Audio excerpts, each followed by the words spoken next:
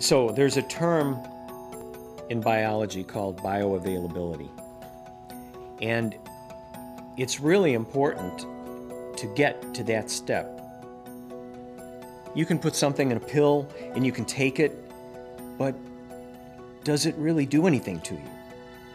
You can drink a glass of orange juice, but does it really do anything? You can swallow a vitamin,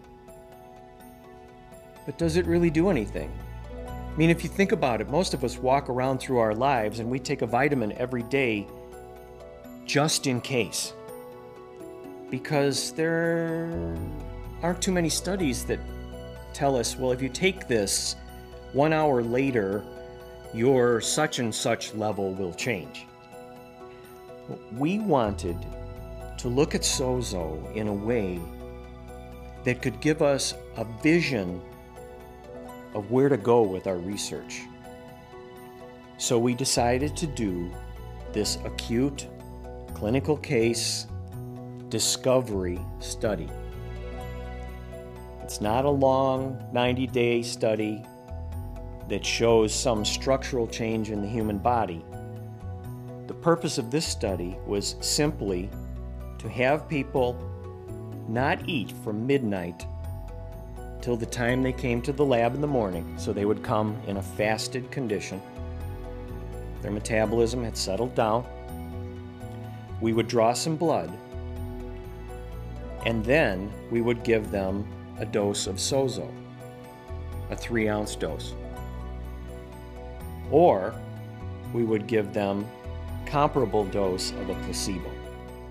You know, once we had completed the formulation of this product, we knew uh, based on experience with Futureceuticals and the raw materials that we were using, especially the coffee berry, that we were going to have an extremely high ORAC on this finished goods product. In other words, our antioxidants were going to be off the charts.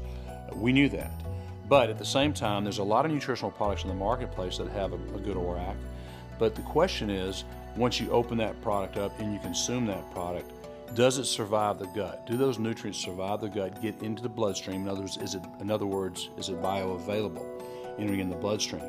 And it's interesting because neither the people who were ingesting nor the people who were administering knew whether they were participating in the sozo leg or in the placebo leg.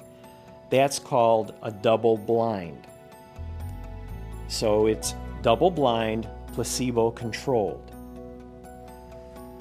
As soon as they ingested the material, then every half hour for four hours was another blood draw.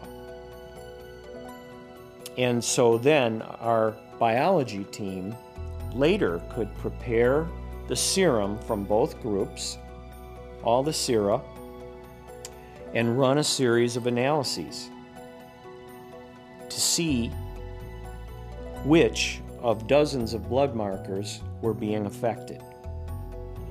And then it took some months because it literally generated some thousands of samples.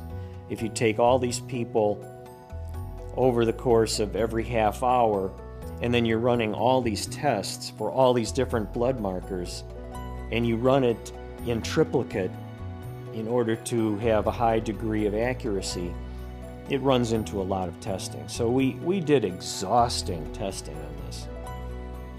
And we're pleased to say that we got some pretty exciting results.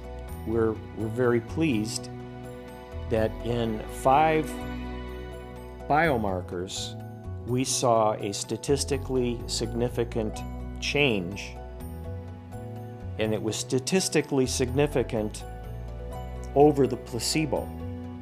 For an initial study, that was uh, very impressive to us.